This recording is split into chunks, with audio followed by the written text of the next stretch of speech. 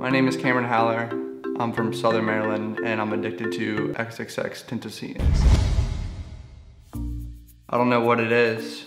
His screams just soothe my soul. I love everything about his screams. His face tattoos are something that symbolizes art and it relaxes me. When I first discovered X, before all of you, 10 years ago, I was, I was amazed by his iPhone selfies and his six pack. From that day on, I knew he was gonna be a rock star. But there's something about me that just grabs onto him. I don't know what it is. I don't know why I do it.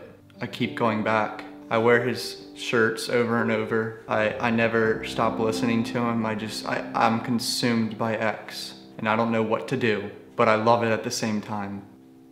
Everything inside of me is telling me to push him away, but I just can't. I can't stop listening to I'm Sipping Tea in Yo Hood. I always get the urge to listen to him and Ski go back and forth saying bro. Can't, I can't get away from bro. They're my brothers. We all just got a bro together, but I just can't stop listening to him. Every minute of every day is consumed by X. He's everything I've wanted.